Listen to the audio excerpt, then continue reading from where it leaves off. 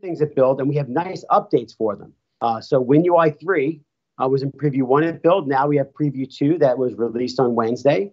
And for WebView 2, we're actually releasing an SDK uh, next week. Uh, they'll update that for everyone. So to give you a bit more detail for that, I'm going to hand it off to Jesse Bishop, who actually leads Project Reunion, and Adam Braden, who owns our app model on Windows. If I could just say, apparently we're not getting any sound in the call at all. Uh, That's what I'm hearing. Let me take a look here once. maybe we should try to just debug that first.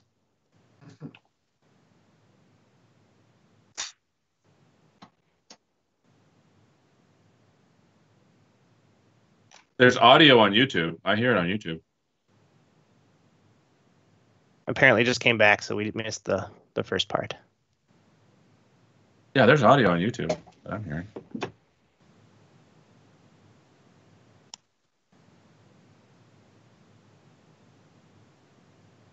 Are we back? All right. All right. All right. Did, did everyone hear everything, or should I start? Should I start again? Because we want to know what Kevin's doing, because clearly he's not like painting his house because he's got like really boring white backgrounds in his house. Man, what's going on? This is actually my closet, my master closet. That's the white wall in the closet because you don't really paint the walls interesting in the closet. Well, maybe you don't. I mean, yeah, I- I- so for those that did maybe didn't hear, catch us up on everything since build. Yeah. So, uh, so first of all, I just wanted to just let everybody know what we did announce, and we talked about Project Reunion, which really is about trying to bring together and totally simplify development for Windows. Uh, it brings together UWP and Win32.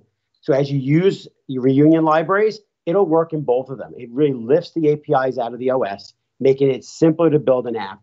And it will work now down level. So all that code that we released in Reunion will work across the entire Windows ecosystem. Uh, we announced two things, which were WinUI 3 and WebView 2, which are the first two components. We actually have updates to them. On Wednesday, we released an update to WinUI 2, uh, the WinUI 3 Preview 2. And then we're also, for WebView 2, are releasing an update next week. So to go and drill in a little bit more to what's in those, because that's what everybody really wants to know about, uh, Jesse Bishop, who leads Project Reunion, will talk about that. And then Adam Braden is going to talk about the app model on Windows and specifically some of the APIs we're delivering there. So let me hand it off to those two guys here now. Yeah, thanks, Kevin. So uh, I am sharing my screen here, and I just wanted to start with a quick tour of the Project Reunion GitHub repo. So we sort of soft launched this repo at the Build conference in May, uh, and so I won't spend too much time going through kind of the general overview here. Instead, I'll just say we have lots of great info on the repo, and so please do visit if you, um, you know, are interested, and let us know if you have any questions. For example, there's this nice README here that kind of explains the the general overview of what Project Reunion is and how it can benefit your apps. And so, what I'd like to do is actually go into a bit more detail on what we're really focused on right now. Uh, and so, this is a pending update to the roadmap in the in the repo right now. So you'll be able to see this very soon. Um, and so, I want to talk about the focus areas that the team is working on. So as we kind of work on the Windows platform as a whole and continue to break down those barriers between Win32 and UWP and also add new functionality, uh, we want to make sure we're sequencing this work so that it starts being useful to developers like as soon as possible. So since build, we've been watching this repo and reviewing feedback we got from build and other sources, and we've been kind of organizing our engineering efforts to have a pipeline of proposals and specs that we're actually sharing on GitHub so that everyone can go and review and give feedback on them, and then we can build them. Uh, and so these are not like idle proposals. Uh, generally, the ones posted by at least our team at the minimum are things that we're actually directly working on that align with this first round of focus areas. And so I have some examples here. Uh, this list isn't exhaustive. Uh, we have lots of stuff in progress, but I wanted to highlight kind of these four main focus areas that we're aligning our work with.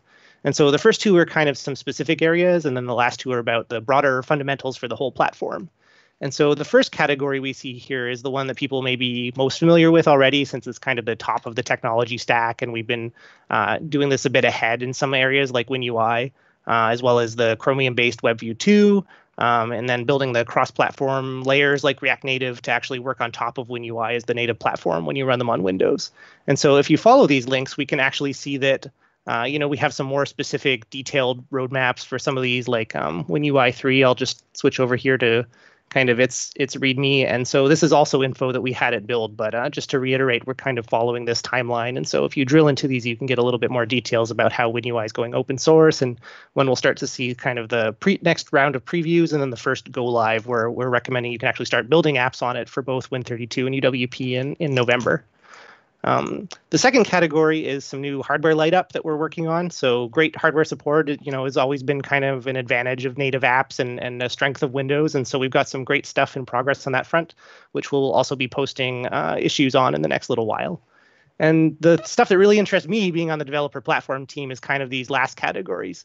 And so the the third one covers platform fundamentals. And so we're focusing on progress in some areas that we've had like strong feedback on from developers and that we really believe Project Reunion can help. Uh, including these among other things. So, like some new system and app lifecycle APIs, which are especially beneficial for Win32 apps to kind of opt in to get better battery life and update more easily, and other great stuff. And I think Adam will tell us more about that in a minute. Um, some windowing unification and improvement uh, across Win32 and UWP, so it gets easier to get rich desktop windowing in any app, as well as some of the new capabilities and device support. Um, so we're also going to have more details on that really soon and then the text rendering platform. And so we posted this one recently, and actually people have been really interested, which is awesome. Um, we're decoupling DirectWrite, which is the the great text rendering engine that's currently built into Windows. So we're actually taking it out of the OS and evolving it with some new features. Um, and finally, we're working on some other areas not really listed here, uh, like file picker dialog improvements, and we're working toward file access API improvements, which I know has been especially painful for UWP, um, and, and some other interesting stuff that you'll see in this repo. Uh, and finally, the final category covers changes to the platform and app deployment that lets us deliver on the sort of general project reunion principles. And so this is a lot of infrastructure work around uh, decoupling the dev platform from the OS, like you may have already seen with things like WinUI, uh, ensuring all the features work on supported all like supported Windows versions across Win32 and UWP, and we're actually doing the work to polyfill as needed to kind of keep the um, those APIs working consistently so that you don't have to.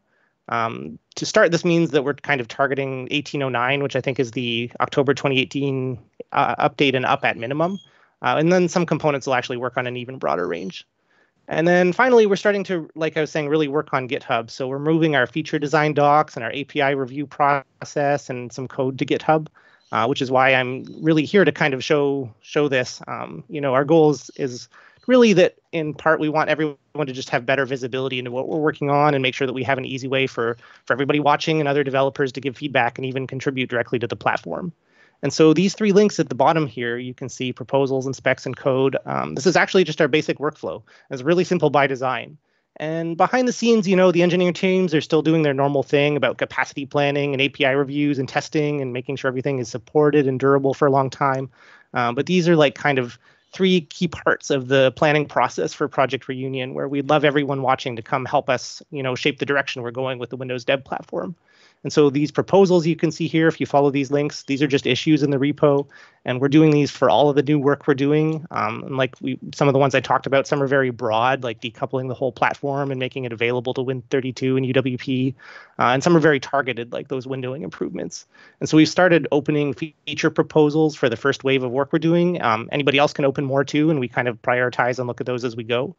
Uh, the second step is to go and like write design docs and specs and stuff like that, so you can see you know, here I'll pull up an example for that um, text platform for DirectWrite that I was mentioning. And so, um, you know, these get pretty detailed about our roadmap for these things and our staging. Uh, and we think this is interesting. A lot of people have been interested, so that's awesome to see. Um, and so we'd like to just keep continuing that. And so I'd also mention that some parts of the API, like WinUI, are kind of big and self-contained enough that they continue to have their own repos. So we're also trying to kind of organize and make sure it's easy to navigate these repos. But the intent is really this main project reunion repo you see here is kind of the main place to go for general Windows platform feedback and planning. Um, and with that, I actually want to turn it over to Adam to talk about some more specific examples of some of the cool stuff we're working on, especially in the fundamentals area. Adam? Okay, thank you, Jesse. Let me go ahead and start sharing my screen. Let me know when that's up. And uh, so I wanted to talk a little bit about uh, the application lifecycle that we're uh, that's a big part of Project Reunion. Let me take you a quick overview on the proposal uh, and do a, a, bit more detail uh, than, than the overview that Jesse just gave. You can see that we're doing it uh, open source here on GitHub. It's issue number 111. And what we're really trying to do is converge the application lifecycle across Win32 and UWP. It's a rather long proposal, so we won't go into all the details in this call, but I encourage you to uh, read and participate in it. It's one of our first examples showing how we can decouple uh, APIs from the OS and build converged APIs. And in this document, uh, we'll see how in V1 we're focusing on four uh, platform uh, features. And so let me scroll down across activation, instancing, restart recovery, and uh, resource management. Let me jump down into uh, and kind of give a, a nutshell summary of each of those sections. For activation, at one end of the scale, we have our classic Win32 apps that get their activation args in the form of a, a, simple command line strings. At the other end, we have UWP apps, which get rich set of activation uh, activated event args, which are strongly typed for each different kind of activation. And the app lifecycle is going to bring these together into a core set of activated event args. And the goal is that any app can make a simple call to request these rich activation objects, whether they come through the command line or the, uh, the UWP activation contracts. And then if I jump down to instancing, you can see there's a lot of details filled into each one. Um, if I jump down to the instance instancing, we'll see that uh, this is really trying to converge the traditional uh, Windows apps, Win32 apps that are multi-instance by default whereas UWP apps are single instance. The app lifecycle component is going to decouple the UWP support for single instancing and make it available to any app.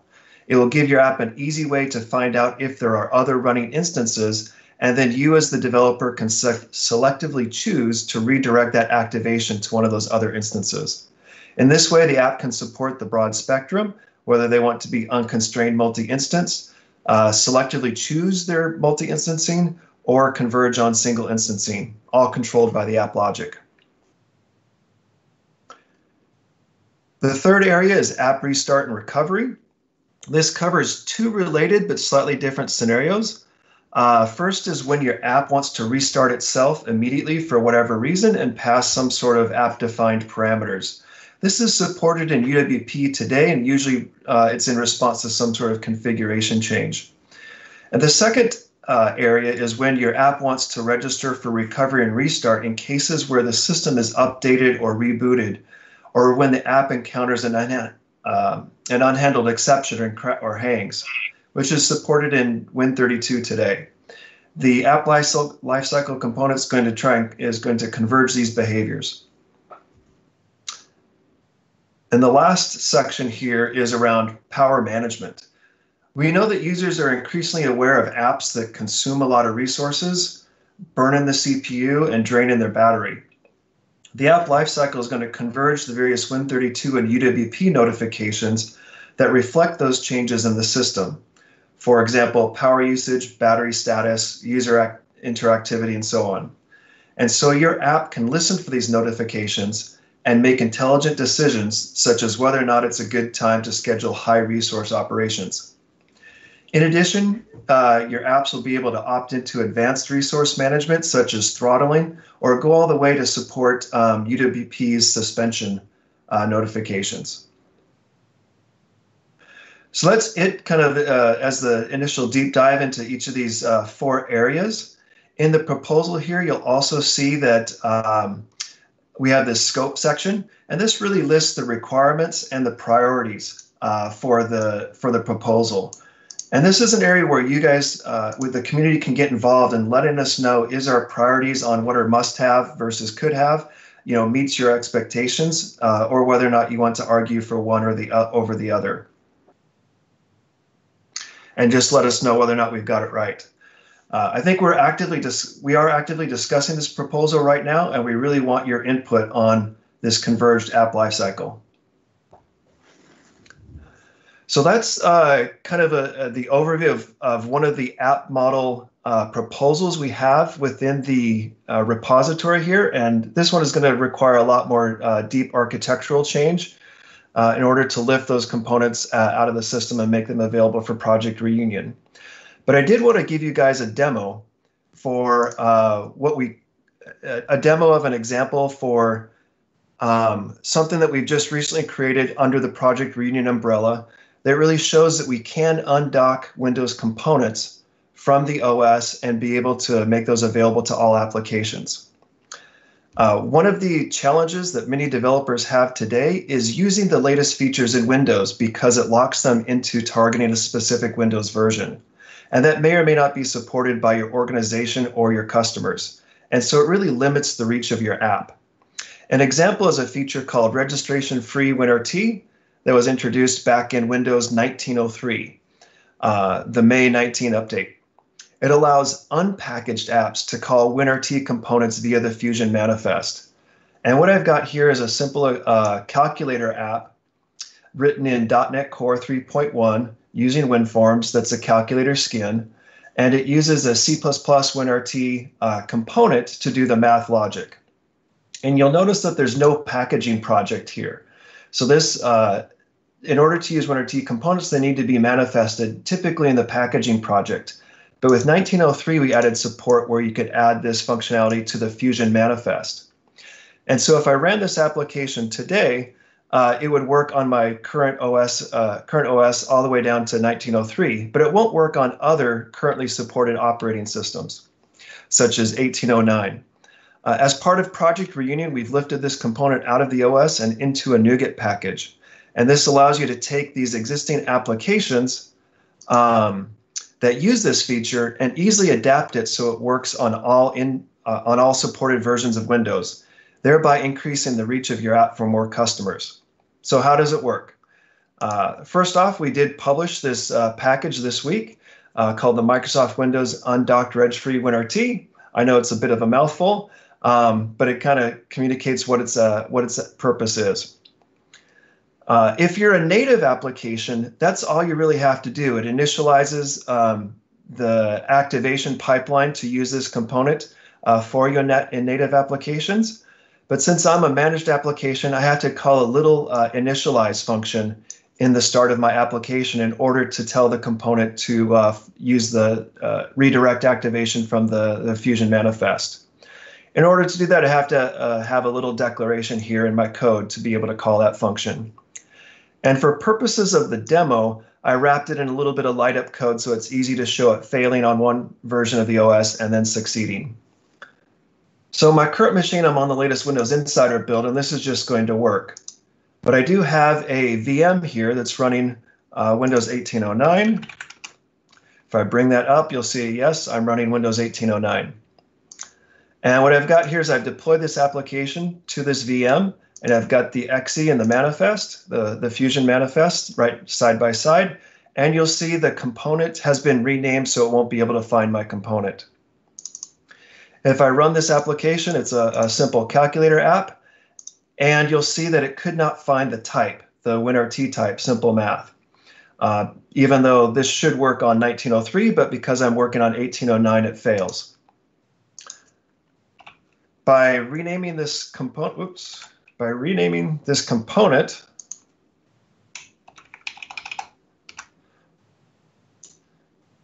my app will now find it and it should be able to uh, easily redirect the activation to that component and leverage the Fusion manifest to use my uh, simple math types. And so that's it. I wanted to highlight a, simple example of showing that we are able to lift various components out of the OS and increase the reach of your existing applications to use these new features uh, in, that are available in newer versions of Windows. And with that, uh, I'm done with the demo. Back to you, Kevin and Seth. This has been awesome. So I'm going to start with the obvious question just to make sure I understand completely what this is. So Project Reunion, and I'm going to I'm going to just word vomit. I shouldn't I shouldn't use those visuals, but I'm going to word spray. I it's getting worse. I'm going to word make man, I'm terrible at this. What I think Project Reunion is, and then tell me where I'm wrong or where I'm right. So what I'm understanding is that look, when I used to make WinForms apps a long time ago. I'm used to it. I have some stuff that I've done legacy. Project Reunion is the process of enabling those folks who have those kinds of applications to take advantage of all of the amazing new stuff, like for example, the store, among other things that are available in the XAML universe. Am I am I getting the the gist of this right, Kevin? Uh, yes. I mean, if you, I think Adam did a really great job of showing how we're doing it is, and, and roughly how you can do it for your components too. As you lift the library up, its APIs will work for any application. As we lift those up, they'll work on any application type. So, for example, with WinUI, now that it's a lifted component, we'll make sure it works in any Windows application, UWP, Win32, and regardless of your UI framework, you can start to use those components. So these libraries are now standalone in some way of they can run in any of these app model types. And as more and more of them come out of the OS, the APIs that you can use that work across all of Windows get larger and larger. Uh, so the process just keeps getting to be like a snowball effect of, of, of, growing that that set of APIs that you now can be confidently use anywhere in your existing applications. So just I'm gonna I'm gonna run through some questions, a bunch of other questions that I have. When we keep hearing about WinUI, is that part of Project Reunion? Is it a separate thing? So it's sort of a yes and a yes. Each library you can adopt standalone. We don't want to make it so you have to go, oh, I have to go start reusing a new project type to start getting the value. And just like Adam showed, it's much like a NuGet package. You just load it, and now I can use that component in an existing application. So yes, WinUI you can use separately without using all the rest of the WinUI of the of the Reunion libraries. Two, it is part of Reunion. Reunion, if you want to target Reunion, you can go use WinUI. It's a part of the Reunion family. And so we, we kind of give you a little bit of both, where you can pick and choose if you just want to use a library and it's not monolithic. Like we've done in the past, the SDKs have been monolithic. If you want to build UWP, you got to use all of UWP. And that's not really the approach developers want. They, they like, I'll say if I go back in the old days, like the COM approach.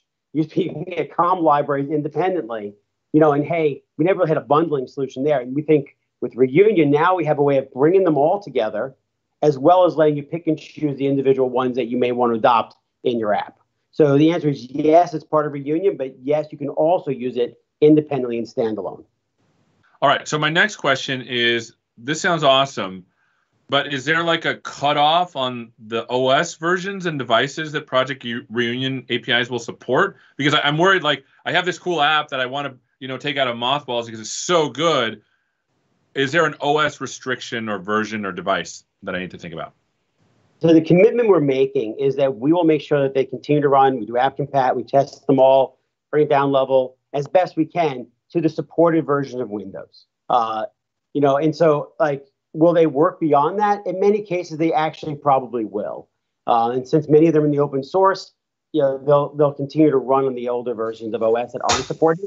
But we really wanted to make sure that hey, if you're an enterprise and you have all the supported versions of Windows, you can confidently build to those. Um, and as OSs get out of service, we're not going to do all the work necessarily go validate it, but they'll probably work on many of those too. And so the answer is the supported versions of Windows is what we're making sure will work. So next question, because like we're we're all programmers here, and I see some of my friends here because I have the I have the YouTube chat open. Hello everybody.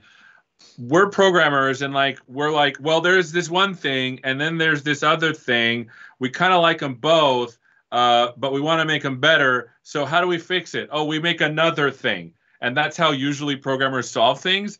Is Project Reunion another app model? It, it's not validated. It's not really. So uh, at, at the end of the day, we are going to reuse most of the APIs in Windows. Now we've evolved the app model of Windows, and we have changed that over time we want to make sure old APIs work. And we're giving you new things. Adam talked about a whole lot of new capabilities. So yes, they will be new in Reunion. And the goal is that as that new comes available, you can use it across all supported versions of Windows. But Reunion is about bringing together a lot of just the existing technology. And while we introduce new features, they get that immediate reach, they get that immediate value. So the goal is we will evolve the platform, but Reunion itself is not trying to invent a, hey, stop everything you're doing, go rewrite to Reunion. Now, Reunion is the union of Win32 and UWP brought to you available across all of Windows uh, components. So it's not itself a new thing, though we will introduce new components through Reunion. So I don't know if I, got convoluted too much in yes and no answers. no, it kind of makes sense. Like you're you're saying that we don't want you to do new stuff. We're gonna replumb the stuff underneath and make it so that it's easier for you to do what you want. A- am I understanding that right? Well, I want you to do. I, I don't want you to take good code. I think Adam said it great. The APIs that you're running, if once you take a reunion library, now they'll run on more versions of Windows. You don't have to change the existing APIs for existing functionality. Where you want to get new functionality, you can then adopt and change just that code and not have to go and change code that's really unaffected by the feature that you're building. That's where I think developers get angry. It's like, well, I just wanted to use this one new feature and you make me rewrite these other 10. Why do I have to rewrite the 10 to get to the one? And if it's a reasonable reason, like there's a dependency, great. But a lot of the reasons were, I'll say, just arbitrary at the time because of the model we picked. The model we're picking now is you take and you pay for the feature that you're adding and not for other parts of the code having to change. Got it. So here's another thing. Again, I was a WinForms person a long time ago, um, and I remember the particular pains I had when creating an installer. Uh, is there like something extra I need to do for things that are based on Project Reunion to get installed, or how does that work? So, uh, Adam, Jesse, maybe one of you guys will take that and go a little bit deep on that. Adam, do you want to talk about the sort of framework package mechanism we're planning to use? Yeah, I can jump in here. Um, one of the goals with Project Reunion in order to lift these OS components out of the OS uh, is we do need a redistribution mechanism that works. Fortunately, with MSIX framework packages, we already have that technology, but to date, we've been very um, selective in how we've used it.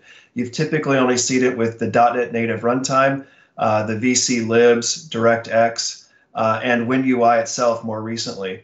Uh, but we do expect that more of Project Reunion for some of these foundation pieces will be redistributed as a framework package going forward.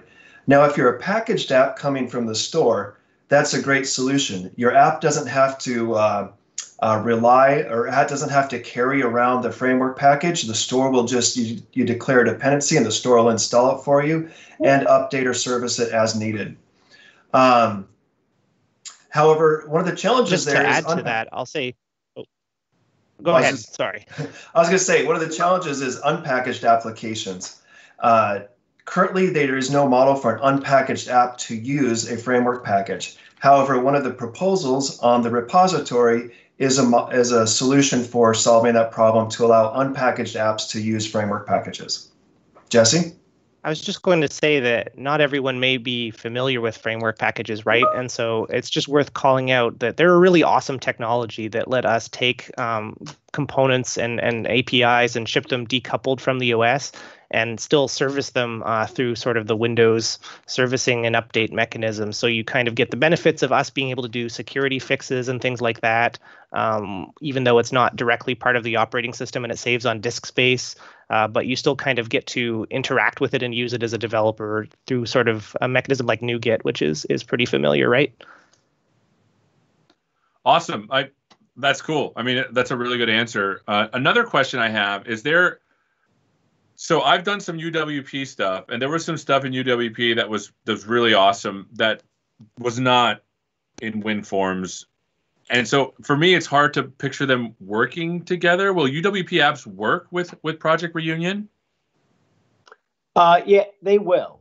And so here's where I think it's, I'll, I'll go into a, a few examples here of how we're going to introduce it. For example, you're saying, well, I already have WinUI inside of UWP. What does it mean to be outside?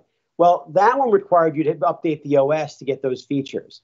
And you can continue to use the one that's built into the OS, but all of new development is done outside. So you can use WinUI 3 directly inside of your UWP application and not have to go and use just the one that's built into the OS. So these components will work inside of UWP. Now, there are some interesting things we're going to have to resolve, and I'll give you some of the inside the Beltway discussions we've had that maybe you'll understand. Like when it comes down to the security sandbox, UWP comes with one, and we want to build one into Reunion that can be then iterated on outside of just updates to the OS. So, and to do that, we're going to have to enable UWP from the core to delegate its container and its security model to a Reunion library. So over time, because people say, well, how are you going to do that? We have ways of doing that in the OS where we can route the capabilities to a framework package. So this framework package can come down separately than the OS shipped image that everybody gets as far as updates and replace the functionality that either Win32 or UWP had and allow it to be delegated to reunion libraries. And that's something we're working on now for some of these more complex areas. Some of them, they're open source, they're easy to go do. Other ones, we're going to have to do some real, that's why we go a little bit slower, getting some of those components, deep interactions and changes where the framework packages take over the core functionality that at times is built deep into the OS. And this is an interesting interesting approach because it feels very much like the web way of doing things when the browser, you know, doesn't have everything. There's these things called polyfills. Is is this what we're talking about? Is this like is there like a polyfill API? Will they work exactly with all of the versions? You see what I'm, you see what I'm getting at? Oh, absolutely. It's like one of the inspiring. I, will let Jesse maybe uh, jump in on that one and give some uh, more more color into how we uh, we're doing that. Sorry, I'm I'm losing a bit of a connection here. Could we? Oh, as far as polyfills. Oh, sure. polyfill. Yeah, so we're doing a, a mix of things, um, but basically, as we lift things out of the OS, we're kind of doing the work to test them down level on different supported versions of Windows, and then wherever they're relying on the OS APIs, the underlying OS APIs that may not exist, we're doing kind of a few different ways, kind of the same as you would in the web world, where maybe we need to go implement uh, on top of different OS APIs on on sort of different OS versions, and so we kind of take on the the pain and cost of doing that instead of app developers having to. So things will actually sort of gracefully fall back to a slightly different mechanism, but it's not something that you as an app developer really need to worry about. We just take care of it all behind the scenes in the implementation, and so that's part of the work we're actually doing as we lift things out of the OS, where it's not just sort of a mechanical copy and paste. We're actually going back and testing and making sure that everything works properly and relayering on top of the right OS APIs. That's awesome. So I just want to say the Reg Free WinRT is a good example of that actually that that Adam showed. So that's actually something that was in the OS and only worked on sort of I think 19H1 plus and and as a part of decoupling it, it now works further back, and so you get to address a larger market without having to do any work because we've done that polyfill. Now, cool, I, I, will give a caveat to that polyfill. There'll be times, especially things that are hardware dependent or things that truly require like something deep in the OS. that only really comes in the latest one. We'll do our best to polyfill. We want to make sure the APIs are consistent and easy to use, but functionality then can light up. So there'll be some advantage. I, sometimes it feels like, oh, great, everything will work on every version of Windows. No, There'll be innovation in hardware where you'll need to detect, hey, is this feature capable of doing the new ABC thing that you want to go do? But it'll be an API where we'll do the work with your best fallback, and then you can light up with that new functionality easily. Awesome. So one of the things that I saw that was interesting is because you're making this new layer, it looks like at the OS level, and I saw I thought I saw the project with C and C sharp are we exposing this layer to other languages? Because I feel like there's like some cool stuff that you could do with this new layer. So uh, we are, and we're we're excited about enabling new languages. It's something that we've done at Microsoft a lot. Um, we're working on support for Rust. Um, there's also someone who started a project for Python. It's not complete yet, but we really you know, a- as we work with the community, we kind of want to know what what do people want to use, what languages are of value, and how we can make that simpler for them so they can reuse code or just enjoy the language of choice. Uh, and so you can, you know, obviously you can continue to use like things like JavaScript through something like React Native, um, and of course to support our main languages. But we're looking at the right way to do it because obviously the way we would do Rust is different than the way that we would do JavaScript. So we want to do it, but we want to do it in a way that's really the way a developer in that ecosystem works, uh, and not just kind of jam a, a, one model on on on everyone. That makes if that makes sense. Yeah. So you, you want to you want to tastefully open this up to other languages and not make Python look like C++ or you know JavaScript look like Rust kind of thing. Is that what you're saying? Yeah, and everybody who knows uh, some of our C++ history will know there are times we tried to do that in C++ with little hats and that that that was you know not well received. So I, that's why I use the word tastefully. So I, so I here's another question. Yeah, here's another question I have for you. I'm because if I understand this right, Project Reunion is kind of an open source thing, but there's underlying Windows things. How much of the Windows platform is actually going to be open source? Uh, it, it really depends. I mean, it's hard to give a percentage. I think right now we're looking, I'll say, at the developer API layer. There are parts of Windows that are open source that really aren't part of our developer API set. They're part of our security system. They're part of other ecosystem pieces like printing and those other things. But uh, for the developer API set, we're looking to open source really as much as we can that's pragmatic and reasonable. I mean, there are certain things that are written in kernel mode that we're not going to go open source. That doesn't always make sense. Uh, we'll lift some of those into user mode and maybe we will open source them. So our goal is to open source what we can in an order that, that our customers saying, hey, this is the ones where I want to contribute or I want to deliver them side by side. We'll deliver DLLs that can be side by side installed as part of Reunion, you know, in almost every case. And then where we can open source them, we'll do that in a reasonable order, just because a lot of the code in Windows is very deeply integrated with our build system. But we really do want to go with that as far as we can. We don't really have a, a number in mind. We'll just continue to do that as you know, as as is reasonably possible for us. And it's interesting that you you mentioned kernel and user mode because I'm starting to recognize that Project Reunion is gluing a lot of the programming space across the kernel as well as user mode, and so you can make decisions to move things out of kernel, kernel mode that you have to, and maybe things back in. Is is that yeah. is that about right?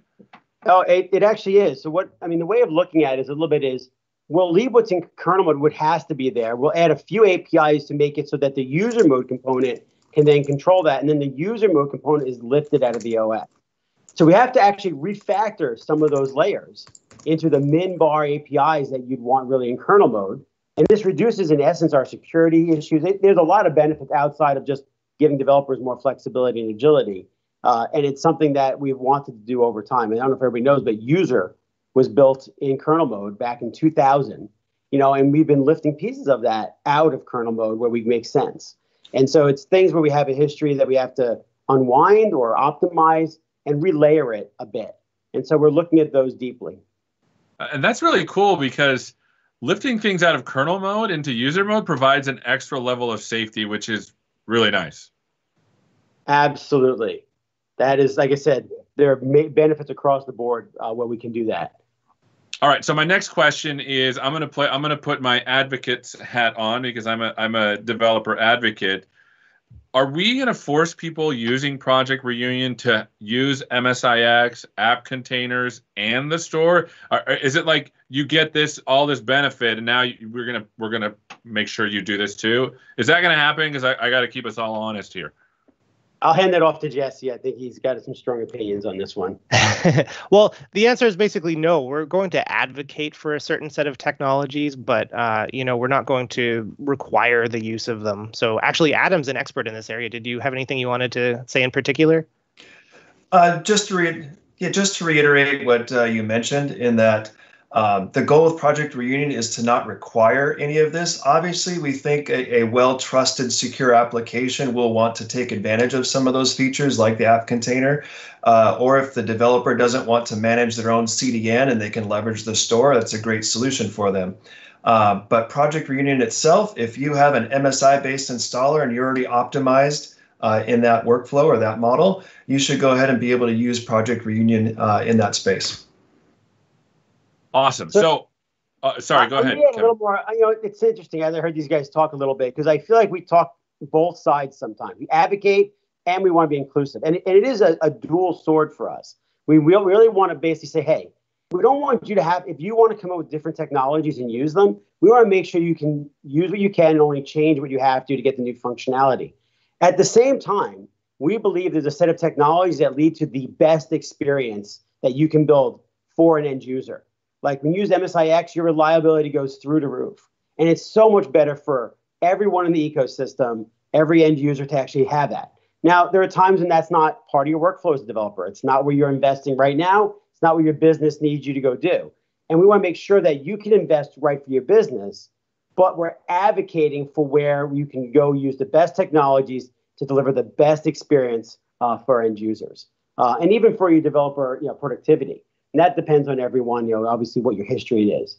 So we tend to advocate, but we want to be extremely inclusive of existing technologies that people have used over time, knowing that you have a heavy investment in many of those. So you'll see us kind of do both advocate and be inclusive. Got it. Makes sense. Uh, another question that I've been I've been thinking about. I mean, if I have a because I, I'm if I'm understanding Project Reunion right, it's basically expanding the layers, the layer in the OS level that allows me to hook on to things that are quite new, or if you're back in, in UWP to hook on to other things that maybe were useful in Win32 that are not available in UWP. How difficult is it for me if I'm using UWP or Win32 to start using the Project Reunion APIs? Because I, would imagine that if I want to start taking advantage of the newer stuff in my old WinForms app, I'd have to use the Project Reunion API somehow. H- how does that work? So I think uh, Adam gave, I think, a really good example about how how it actually technically works. So why don't you go through maybe again a little bit, Adam? Give a little more example about how those APIs through NuGet through the DLLs works. Sure. Uh, and Seth, I'd actually use the term we're moving the platform line down uh, in the in the platform, and and many of the components are actually being lifted above that platform line into framework redistributable packages.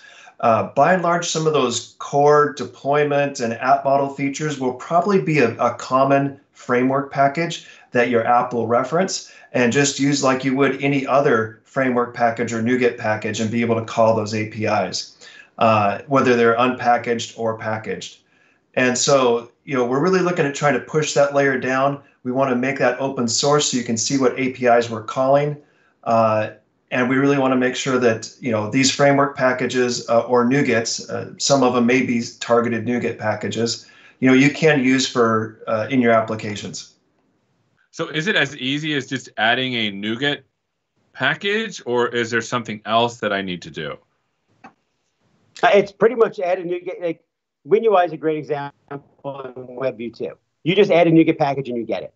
Now, for anyone who wants to start from scratch, and wants to make sure that they get all the value of reunion, we're looking at making you know some project types that can go do that. Where I can go say create a new project, you know, drag in my some of my existing code or link against all the APIs there, you know, and and therefore you just now you have a reunion you know solution.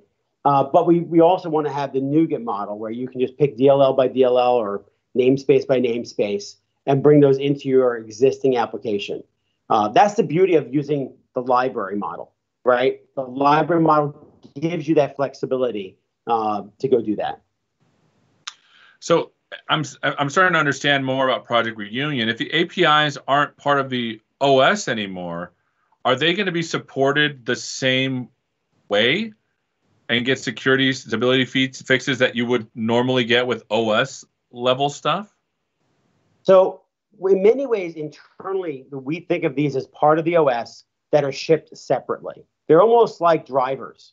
Drivers ship outside the OS, but we service them, make sure they're up to date, and everything else. So we will manage them from that from a from a life cycle point of view, like they're part of the OS.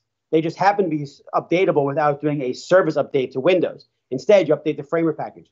The C runtime, we're actually, for example, the C runtime is actually delivered as a framework package, and we service that you know, either aligned with a Windows update or out of band of a Windows update.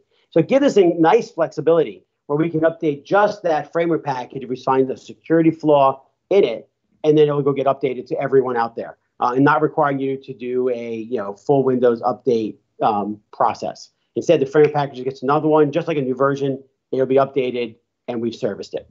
So yes, but we actually have way better flexibility and agility um, and I think a lot of enterprises will find that this is a much more friendly model uh, because now they, they don't have to update all of their devices. Only the apps that use that framework package will actually get the update because we actually only bring down framework packages for the devices that have apps that use those framework packages. So it'll be a much lighter weight touch uh, across the industry. Got it. So another question regarding devices. How does Project Reunion relate to 10x? So uh, you know we and and so we really like like one of the things we haven't really discussed, and we've been talking a little bit about 10x. Uh, we're really not discussing right now about 10x in general. And so as we discuss 10x, we will be then discussing how Project Reunion relates to it. So I hate to deflect off that a little bit, but I don't really want to talk about Project Reunion and how it relates to 10x. Instead, I want to, when we actually talk about 10x, we'll talk about how it impacts and how it works across the entire ecosystem. So not quite ready to answer the, the reunion 10x question. We'll answer that when we answer the 10x question. Got it. So I, I have heard, and, and maybe correct me if I'm wrong, that there are some customers blocked from installing the May 2020 update. Is, is that true? What's up with that? So there are some customers who will not see it updated. But first, let me go back and tell you a little bit the way we update Windows. We like to update it in rings. Because the last thing we want to do is have an update go out, and we can only test on a certain number of machines. Windows got 1 billion devices, and they're different, right? As you modify them, update what's running on them, we can't test everything. So we do it in rings, and we build confidence in those rings so we can moderate the impact to customers. So we've been actually rolling it out in different various rings. Those who have similar configurations, they'll get updated faster. And as we have unique ones, we'll update a little bit slower. So we are now updating a small number and we'll continue to update that. Seekers can usually find it a little bit faster. If you want to go get it, you can go seek it. I forget the exact URL to go to get it. Um, but obviously you can search for that and find it. Uh, but we'll be rolling it out in a way that builds confidence with customers. And a lot of times if we do see issues, we'll stop with the rollout, get the issue fixed, and then continue the rollout. This is interesting because it like like most people take the OS for granted. I mean, I just show up and it turns on and it turns on a lot faster than it did, you know, a long time ago. Uh, yep. Tell us about like the commitment that Microsoft has for Windows in general. Uh, Windows is an incredibly valuable asset to Microsoft. A lot of customers use Windows. Obviously, now we've actually seen a resurgence in growth in number of use minutes in Windows. If you really want to be productive in a world with remote collaboration, Windows is absolutely key. And we take that seriously. And we're actually optimizing it and making sure that whatever customers want to use it for, it can go solve. And we see our Windows asset as solving many, many problems. You'll see us investing in making it great for developers. We want to make it great for remote learning. We want to make it for remote work. We want to make sure you can use things like WVD to build a distributed solution, a cloud-based solution for it. So Windows is kind of our anchor in reaching out to our customers. And we take that seriously for developers, as we know that it is the connection point for them to get to their customer. And we want to make sure that that customer is up to date, that developers have flexibility in reaching that diverse set of, of, of devices and, and that ecosystem, different hardware form factors. So for us, Windows is our primary channel to help developers reach customers uh, and how customers will use and interact uh, with experiences. This is awesome. So, uh, if, if you're okay, maybe a couple more minutes on some questions that I've been looking at on on YouTube from Alexander. Is Rust WinRT going to support building WinUI apps? That's a good question. Uh, we're looking at Rust support, so uh, we're looking at making that happen. So we, I don't think we have it completely working yet, but it's something we're evaluating. Awesome. From Darren, how granular are we going to end up with these sort of NuGet packages, right? Is the naming going to be discoverable if you want to know what you need? But are we going to end up with a massive graph of NuGet? That's a really good question. Like, because I suspect that Project Reunion is going to touch a lot of stuff in the OS. Do we, are we going to need a package for each one of them? That is a great question. I keep waiting for that question because that's one of the things I worry about too. Um, and so one of the things we've kind of at least debated is well, well at the at the minimum, we'll do it on a namespace by namespace basis, right? We want to make sure that we think about APIs that come in by namespace. Um, maybe Jesse, I don't know, have we thought about it more bigger? I'll hand off to you for are we doing anything bigger than a namespace or smaller? Because I think that's sort of been the model, but you may know yeah. some exceptions. Challenges. Right, and and so we we also I think there's uh, a bit of you know again a double-edged sword or duality here where we want to say you can incrementally use specific components without taking you know the whole new platform but then we also want to make it really easy to use. And so we have a couple things that we're planning to do and we'll talk more about this in the github repo. And i think namespace is a good way to think about the granularity. Like for example WinUI you kind of think of that as microsoft ui xaml the namespace and it gives you all the xaml controls and so on. But you know um, i wouldn't say you know we're totally settled on this yet. Uh, and we're also trying to talk about you were mentioning the project templates if you want to get started and have access to the sort of whole platform. We're also thinking about how you can kind of add the whole platform. If you think of a dependency graph, it'd be like adding the root node of the dependency graph and you get access to everything and then you kind of just use the bits you want. And then under the covers, the framework package mechanisms will make sure we're only pulling in the actual code that apps are using um, so that we're not, you know, bloating up the disk space on, on everybody's machines for things they aren't using. So I would say, um, you know, we're trying to balance those and uh, definitely watch the GitHub repo to see how that evolves because we'll be doing that kind of design in the open. Awesome. My feeling is as the namespace gets more and more covered and more of it grows together, it'll be more like, hey, just give me the whole thing. I mean, that, that's where a lot of it, and then those who need exceptions will go the other way.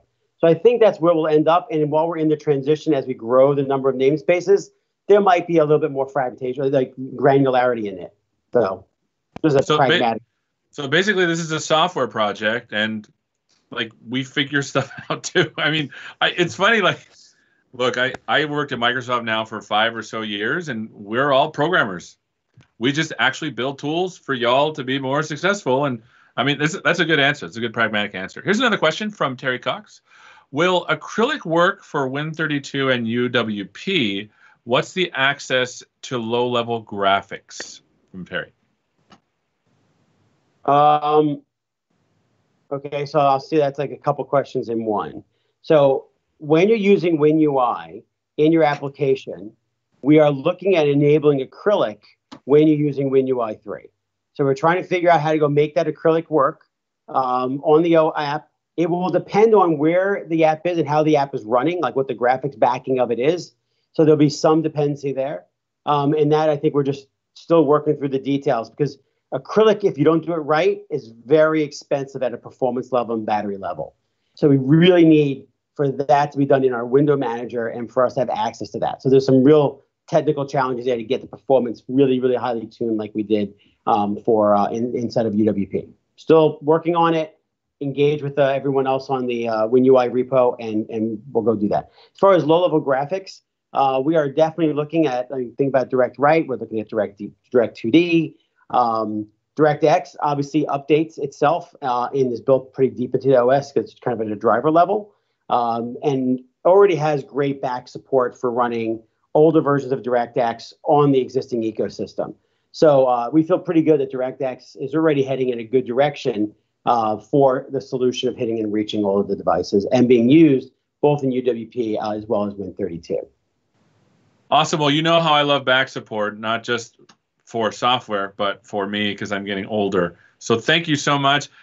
I, have already kept you an extra six minutes. I want to thank you so much for your time, and I'm excited. Hopefully, we can do this more more often. Anytime, man. Love doing that. Love talking to everyone.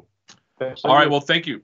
Thank you so much for everyone that has come. Uh, by the way, please send us more questions. What we can monitor, send us email. We want to know what's going on, what you're working on. I'd love to see how this is actually being used because I'm always surprised about how amazing Microsoft customers are. When they get something, they make amazing things, and I'm excited to see those too. Thank you so much for watching, and hopefully, we'll see you at the next. And I want to get the name right because they're going to yell at me. App Development Community Stand Up. We'll see you then. Thanks, everyone.